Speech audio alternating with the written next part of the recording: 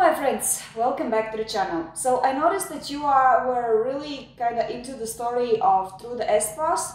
So I decided let's dig up another maybe not so popular Norwegian true crime case and here it is again.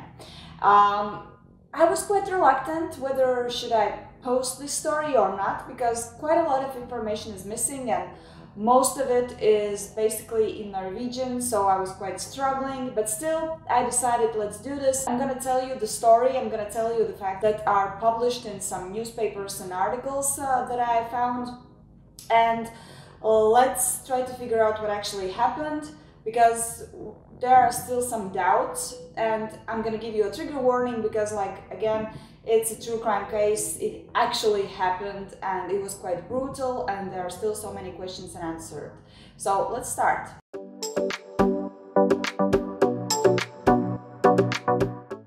And just a heads up, another thing I wanted to mention, I do not have any pleasure in making these videos.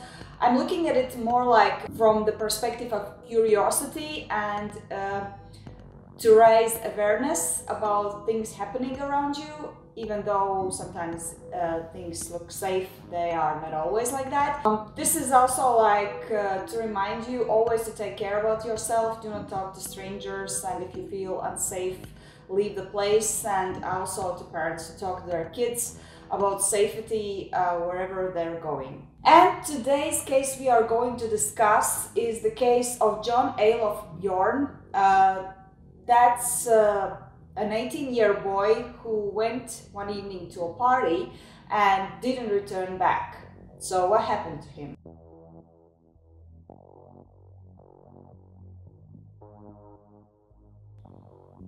It was January 1996. Lyngseidet, a small village in Tromsø, Finnmark county with a population of around 800 people. 18 year old John was just another happy teenager who enjoyed his life which also included parties and meeting other people who shared his interests. So we all know that feeling, you know, like at the age of 18, the whole world is uh, by your feet. You want to do everything, all the life is ahead of you, except for the fact that for John, it was completely different because his life was interrupted at the age of 18 and he will never know what his future would look like. So, as I mentioned, there are not so many facts and information about this case, but I try to figure out as much as I can. Uh, and I'm gonna lay out all the facts that I know in this video and maybe all together we will try to figure out what actually happened. So as always, uh, your comments are very welcome down there and I would be really happy to know your opinion. On January 21st, 1996, John went to some home party after which he didn't return home. The last sighting of him was the next morning in some local grocery shop uh, and this grocery shop was located in Lyngseidet. And by saying John went missing, I mean there was no trace at all uh, about him. Like after seeing him in this grocery shop, nobody know where did he go, where did he disappear. Like he just disappeared into thin air. So I did manage actually to find out what were the possible options the police and parents were considering where the John actually disappeared. But the fact is that a little bit over one year passed and in 1997 they actually managed to find the body of the deceased John. John was found on a ski trail a little bit outside the town, and after examining the place, some gruesome things were discovered, like around his body and uh, uh, with his body, what had happened, and this led to several speculations about what actually happened and if John was maybe killed. First of all, the boy's head was separated from the body and the head was around 40 meters away from it. So this looked quite suspicious. Secondly, there was another thing like quite weird, but it can still be discussed if it's like from natural sources or on purpose. Uh, nearby uh, his head, they found also a cross made of branches, and it was said that the pointed end of this cross was kind of pointing out to the body, like where the body is located. So some believe that all of this was staged with purpose.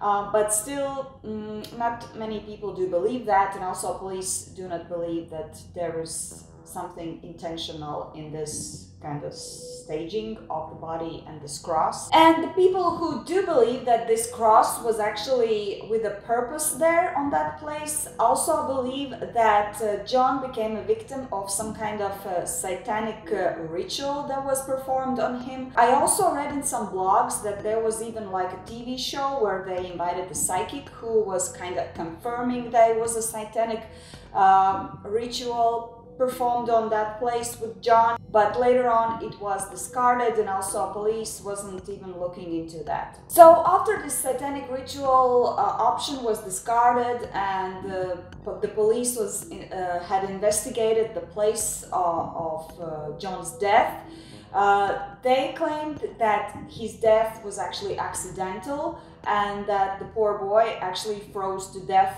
in that place. But here I have some questions because I don't really get this. Like, what kind of accident was this? Like, the boy lost his head, so how could it happen? I do not actually see the logic there, but I don't know, like, maybe it was like some wild animals who bit his head off after his death. I mean, he was lying there for more than a year. So, but again, I don't see the logic and the connection there. So maybe it's just me, but it's quite weird. And the same feeling, and I'm sure even stronger, was from his parents, like who were looking for their son for more than a year, and then they found him dead, and they just simply refused to believe that it was an accident and he just froze there to death. And I totally kind of understand them. It, I, it is like a devastating experience, and I just simply like, oh, I cannot imagine what they were feeling. And because parents did not actually believe that this was an accident, uh, they paid a private detective. His name was Tore Sandberg. And uh, later on, this private detective actually made some breakthroughs in this case.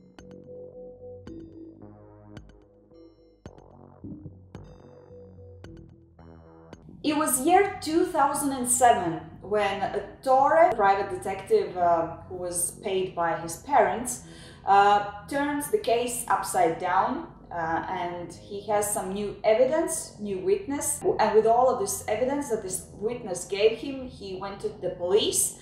And because of that, the case was reopened again. The witness who reached out to Tore actually told that John was killed in an abandoned military shed uh, that was outside Lyngseidet.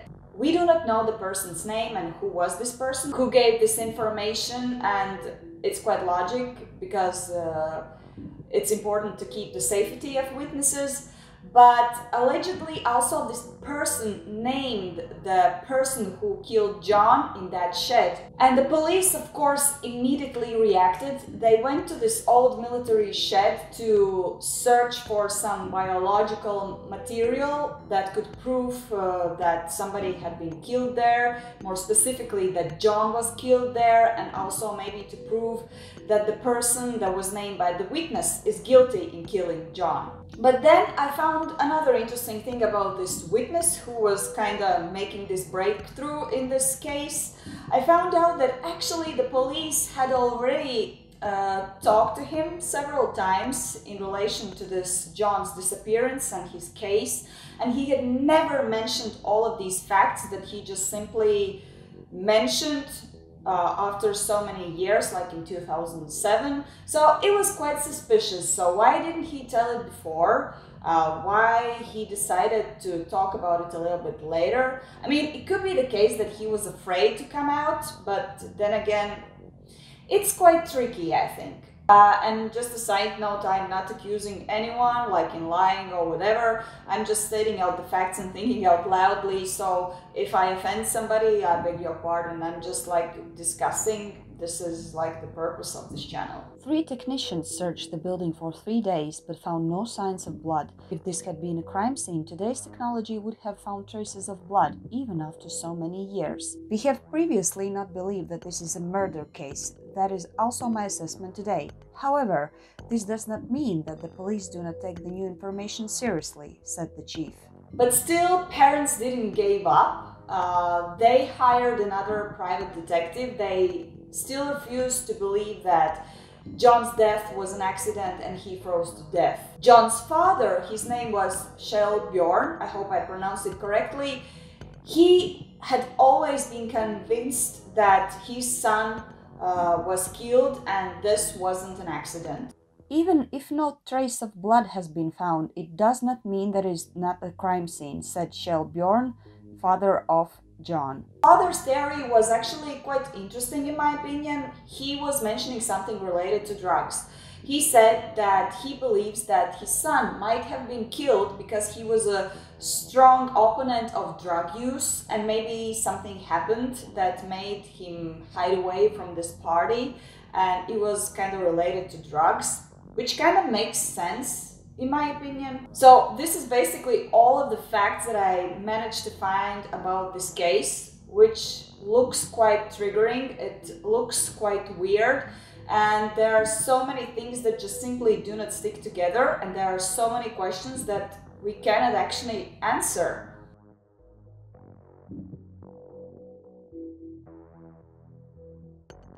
So number one I wanted to talk about was the party that he was attending uh, the night before. I think this party was actually quite neglected because I believe that quite many answers to why John disappeared could be found in that party. Because I have this suspicion that everything actually started there. Even if we do believe that uh, John's death was an accident and he froze to death, uh, the thing what happened in this party could be the reason why he actually decided to go so far away from the town and why this all afterwards happened. Did he get in some kind of argument, maybe fight? Maybe he was so intoxicated that he didn't actually understand what he was doing. And maybe, like, his father is uh, right. Maybe all of this was related to drugs, and you don't get the drugs just like simply on the street. Most probably, it could have happened in the party. And maybe some people just knew that uh, John is so anti-drugs and maybe as a joke they sipped him some kind of drugs in his drinks and this is the result why he left the party, you know, like again intoxicated with drugs. Or maybe, you know, like young people sometimes get crazy. Maybe John was kind of there to try the drugs and he decided like what the heck, let's do it. And if he was intoxicated or under the drugs, it would make sense that he actually went out of the town by himself because he wasn't like really into himself and understanding what he is really doing. So this is why I actually believe that many things could have been more clearer if we would have a chance to look more into details about the party that he was attending. Like there might be some people who saw him, he could who could give some kind of uh, information about uh, how he looked on that night. Was he maybe depressed or um, maybe he was acting weirdly, you know? You understand what I'm saying here, right? So, what are your thoughts about this party thing? Write down in comments.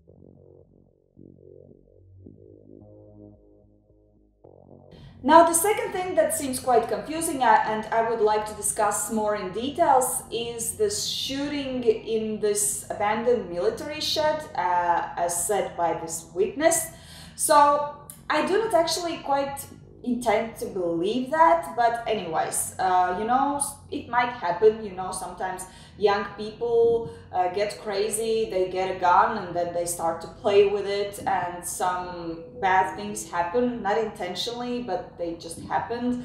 Or maybe it was intentional, you know, we never know. And maybe whatever happened, they shot John, and afterwards they tried to hide the traces of this incident or maybe um, intended killing.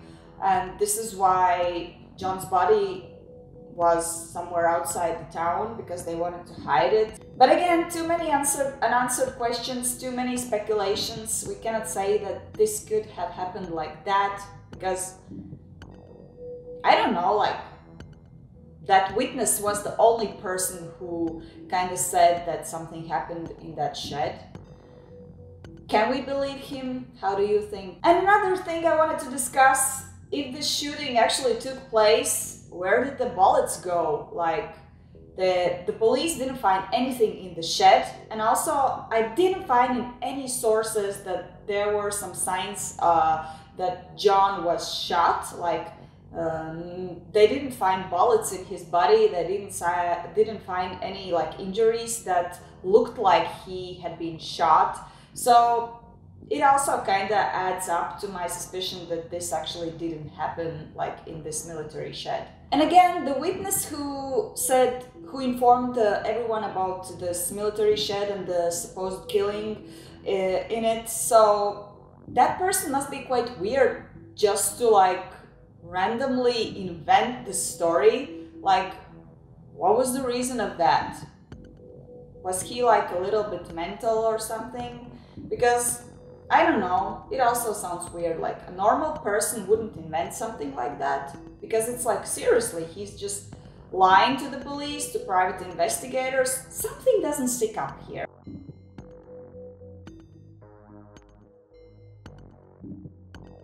And like the official thing that everyone said, like uh, he froze to death, it could be, but still, I'm kind of suspicious about the fact that his head was off. Like I mentioned, maybe like wild animals or something, but still, it looks quite weird for me. Um, and why so far from the city? Like maybe he even was like trying to run away from someone, you know? This is why he ended up there. And I think another suspicious thing is that some people actually saw him the next day after the party in the local grocery shop, which was actually in the town. So it doesn't add up like if something happened in the party and that was the reason why he went away and froze to death somewhere outside the city, like let's say even intoxicated or whatever happened, or maybe running away, no, they saw him the next morning in the city. So that thing that happened to him happened after that morning when he was seen in this grocery shop. Huh? So if he was actually there in this grocery shop next morning after this party, then maybe something happened on his way home. Like maybe he was kidnapped, then maybe something gruesome happened to him and then they got rid of his body somewhere outside the city. And this actually makes more sense than him going away by himself and then dying there just randomly without a reason and then frozen to death.